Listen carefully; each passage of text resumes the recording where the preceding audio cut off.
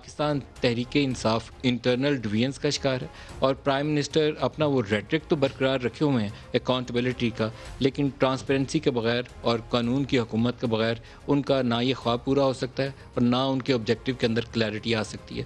गुजशत रोज़ हम P T I के एक एम पी ए के साथ इंटरव्यू कर रहे थे नज़ीर चौहान साहब। तो उन्होंने एक जुमला इस्तेमाल किया। उन्होंने कहा कि ये जो पंजाब के अंदर लूट खसूट हो रही है तो मैंने कहा, आपकी हुकूमत है, किसको कह रहे हैं? तो उन्होंने कहा, जो चोर बैठाए हुए हैं, वो ये कुछ ही करेंगे। तो मैंने कहा, अपनी हुकूमत के लोगों को ये कह रहे हैं? तो उन्होंने कहा, चोर चक्के सिर्फ़ अपोजिशन में अपने अंदर नहीं है। ये एक्चुअली ये जेनुअन क्वेश्चन है कि जब आप दूसरों को चोर कहते हैं, उनको पकड़ के अंदर बंद करना चाहते हैं, ये बताते हैं कि चाइना के अंदर सवा चार सौ, आज भी प्राइम मिनिस्टर ने कहा, सवा चार सौ वज़ीरों को उन्होंने जेल डाल दिया, इतनों को फंदे पे लटका दिया।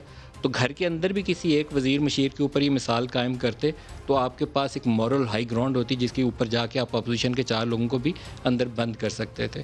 प्राइम मिनिस्टर के आज के बयान से आगाज़ करते हैं, माफियाज़ के ऊपर, माफियाज़ के ऊपर प्राइम मिनिस्टर ने क्या कहा दिखाई दिखाएगा जो हमारे मुखालिफ हैं, जो माफियाज़ हैं, वो ये नहीं समझते कि हम फेल हो रहे हैं। उनको खौफ यह है कि हम कामयाब ना हो जाएँ।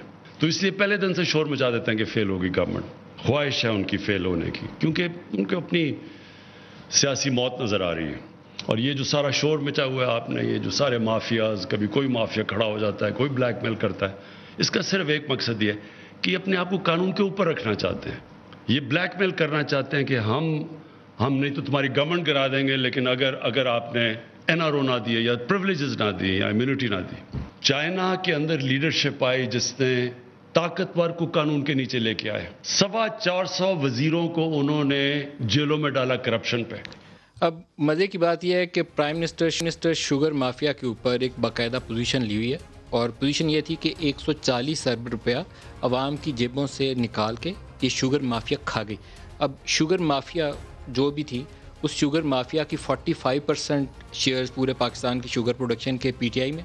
जहांगीर तरीन एक सामने आपको फेस नज़र आते हैं, पीछे उसकी लंबी लिस्ट है। उसमें खुसरो बख्तियार भी होंगे, उसमें हमायूं भी होंगे। इसी तरह शरीफ फैमिली और जरदारी फैमिली जो अपोजिशन वाली साइड है, उनके भी मिल्स हैं। तो ये सारे लोग, ताकतवर लोग जो पाकिस्तान में शुगर मिल्स लेकर बैठे हुए हैं।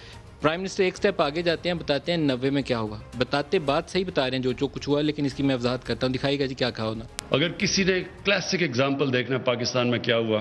नब्बे की दिहाई में, अठासी में पीपल्स पार्टी पावर में आए आसिफ जरदारी सीधा प्राइम मिनिस्टर हाउस नब्बे में पीपल्स पार्टी जाती है Asif Zardari prime minister house से सीधा जेल में करप्शन पे।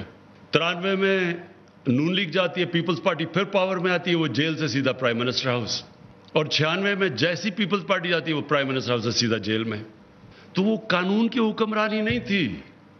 ताकत की जब ताकत में आओ सारे केसेस खत्म। जैसी आप आ, आ, ताकत से जाओ सीधा वापस जेल में।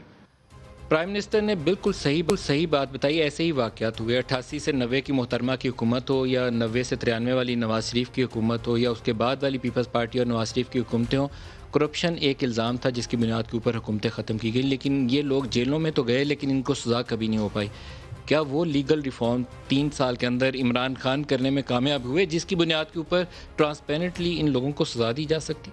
जेलों में डालना सम टाइम विक्टमाइजेशन के ज़ुमरे में आता है। अगर आपके पास पूरे सबूत ना हो नवाज़ शरीफ ने सैफुररहमान की सर, सरबराही में एहतसाब सेल बनाया था। उसने सवाए सियासी मुखालफी को जलीलो ख्वार करने के कोई काम नहीं किया और अखीर में सैफुररहमान खुद जेल के पीछे था। उससे पहले नजम सेठी साहब को एहतसाब सेल का वज़ीर बनाया गया था। उन्होंने भी एविडेंस इकट्ठी करके केसेस बनाए थे। उसके बाद अंजाम क्या हुआ था वो भी हमें पता है। जनरल परवेज़ मुशरफ ने नैब बनाई थी। नैब ने जब हुकूमत 2002 में पूरी नहीं बन पाई तो उन्हीं नैबजादों को पीपल्स पार्टी पेट्रियट्स बनाकर हुकूमत उनके सर पे बना ली। तो मेरे ख्याल में प्राइम मिनिस्टर के लिए कुछ लर्निंग लेसन मौजूद थे, लेकिन उससे क्या हुकूमत सीख नहीं पाई या उनको करने के लिए कोई रास्ता नहीं था?